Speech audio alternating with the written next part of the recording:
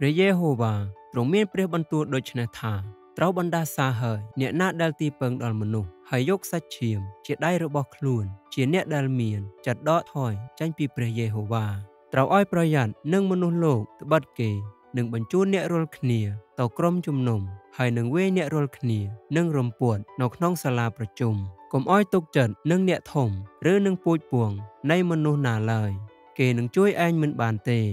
សូពឹងជ្រោកនៅព្រះយេហូវ៉ាជាជាងទុកចិត្តនឹងមនុស្សសូមទ្រង់ប្រោះមេត្តាជួយយើងខ្ញុំទោះនឹងពួកសត្រូវត្បិតសេចក្តីជំនួយរបស់មនុស្សនោះឥតប្រយោជន៍ទេ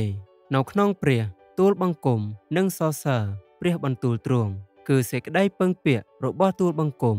នោះបានទុកនៅក្នុងព្រះទូលបង្គំនឹងមិនខ្លាចឡើយតើសាច់ឈាមនឹងអាចធ្វើអ្វីដល់ទូលបង្គំបាន សេចក្តីពឹងពាក់របស់ទូលបង្គំនោះបានទុកនៅក្នុងព្រះទូលបង្គំនឹងមិនខ្លាចឡើយតើមនុស្សនឹងអាចធ្វើអ្វីដល់ទូលបង្គំបានព្រះយេហូវ៉ាទ្រង់កាន់ខាងខ្ញុំខ្ញុំនឹងមិនខ្លាចអ្វីឡើយតើមនុស្សអាចនឹងធ្វើអ្វីដល់ខ្ញុំបាន បានជាយើងរាល់គ្នាអាចនឹងនិយាយដោយក្លាហានថាខ្ញុំមិនព្រមខ្លាចឡើយព្រោះព្រះអង្គម្ចាស់ទ្រង់ជាជំនួយខ្ញុំតើមនុស្សនឹងធ្វើដល់ខ្ញុំជាយ៉ាងណាបាន ការដែលខ្លាចចំពោះមនុស្សនោះនាំឲ្យជាប់អន្ទាក់តែអ្នកណាដែលទុកចិត្តដល់ព្រះយេហូវ៉ាពិតនោះនឹងបានសុខវិញ